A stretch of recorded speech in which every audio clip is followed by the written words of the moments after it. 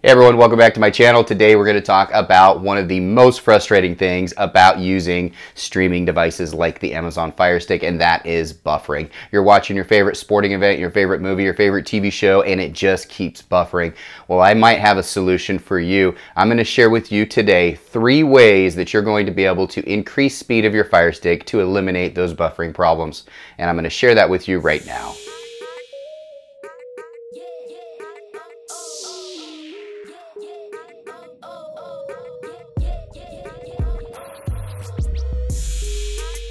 All right, guys, so before we get into ways to eliminate buffering on your Amazon Fire Stick, I'm gonna share with you some of the reasons why you might be getting buffering. So the first being you might have a lot of programs running at once and you don't even know it. So I'm gonna share with you first how you can eliminate that. Secondly, it could be your Wi-Fi speed. There's a couple different things that go into Wi-Fi speed. It could be the actual speed of your Wi-Fi or it could be the stability based on location of your Fire Stick. It could be in another room from your router and that's causing some some problems. So we're going to cover all of those things. I'm going to share with you how you can increase stability, how you can increase your speed of your Fire Stick, and then also how you can increase the processing of your Fire Stick right now.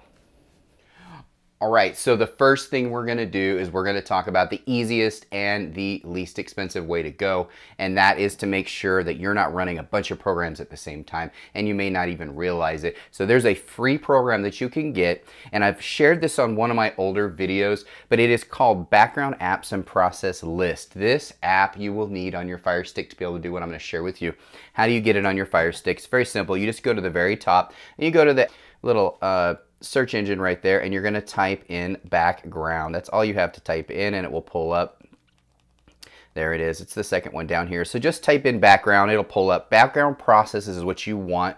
When you click on it, it'll look like this. Go ahead and click it and download it. You're going to want that on your Fire Stick. I'm going to share with you why. So let's go ahead and open it up and see what it's all about. So when you first open it up, it's going to analyze your system. I already had done that on here. So it pulled up that I'm running three things at the same time. So I'm running Oreo TV, YouTube, HUTV, and of course the downloader app. So all four of these are running and that's it. Guys, I keep my Fire Stick clean because I want it to run and I want it to run really well.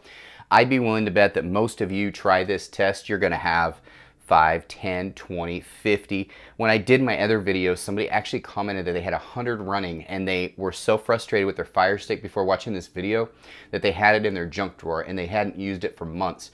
They saw my video on this particular program and now it's running like it's brand new. You don't realize it, but if you don't force close all your apps when you're done with it, any app on your Fire Stick, it will continue to run. It'll take up data, off of your internet. It will also slow down your Fire Stick and it will cause buffering. Believe it or not, running multiple programs, it's the processing of the speed of your Fire Stick that might be causing a lot of those buffering issues. So that's the number one. Really simple, guys. Just get this app, let it analyze it. It is called Background Apps and Process List. I'd be willing to bet that will help many of you right there. Let's talk right now. The second thing you can do to increase your speed and minimize buffering is to get a Wi-Fi extender. This is probably the easiest route to go. It works very simple, guys. All you do is you plug it in to the nearest socket to your Fire Stick. So when you first get it, you'll need to go to your router and you need to press a button. Once you press that button and you sync the two together, you're gonna bring it into the room where your Fire Stick is or wherever your slowest Fire device or Android device is, and you're gonna plug it into that outlet. It's going to give you a little login that you're gonna put into your Fire Stick inside of here, um, and that will that's how you connect to it. But guys, a lot of times you don't realize it, but your speed is what the problem is. So a Wi-Fi extender will actually increase your speed significantly. And I found that once I plugged one of these Wi-Fi extenders, and I'll put the link to this one down in the description. This is the best one you can get. This is the Rockspace one. It uh, It's without question the fastest. There's cheaper ones out there, but if you want something good and you want a stable, fast service, this is what you want to do. So, and once I plugged this one into the furthest room, the bedroom, uh, the kid's bedroom in the very far corner of the house, constantly buffering, couldn't watch any cartoons, nothing. And so once we put that in there, boom, worked every time. So this is a good solution for some of you and it's probably one of the easier ones, but it is the most expensive of all the options because this one here I think is around the 40 to $50 range for the good one. And you can get the lower end one if you have a slower speed to start with. But I have the Gigablast, so I want the fast one. So this is the second solution, an, an actual Wi-Fi extender. And again, I'll put a link in the description on how you can get one of these.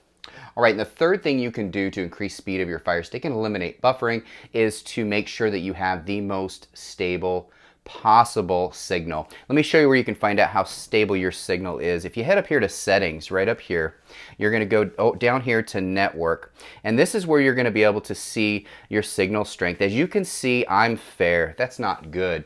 Um, you, I Now I'm good. It just popped to good. But it bounces between good and fair. Most of the time when I use this, and without question, you want this to be very good, excellent, something in that range.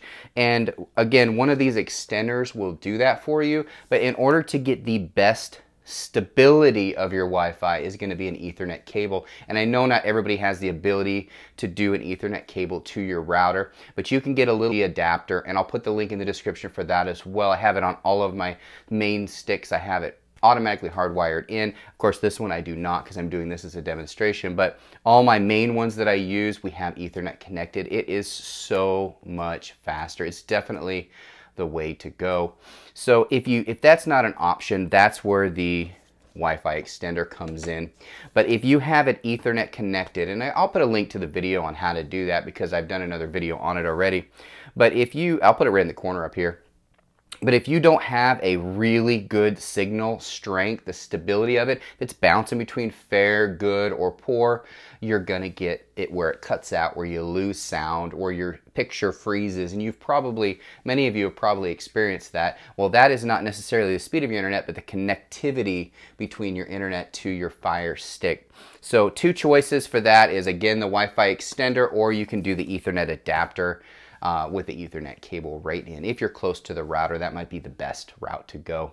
Again, this is just for the Fire Stick. Android devices are a little bit different because they can handle a little bit faster speeds, and a lot of them have a better antenna that you can actually connect a little bit stronger to your Wi-Fi. So Android devices is a different animal altogether and I'll be doing videos on how to eliminate buffering on those as well. A lot of times with Android buffering, it's really the source. And I think a lot of you realize that the source is probably the most important. If you're watching a movie or a TV show or a sporting event, the source might be the cause of your buffering. But I'm sharing with what you can do on your end to eliminate that buffering and have a better Fire Stick experience. If you like this video and you learned something today, give it a thumbs up. Comment down below what you think about it. I appreciate you guys watching my videos and continue to support our channel.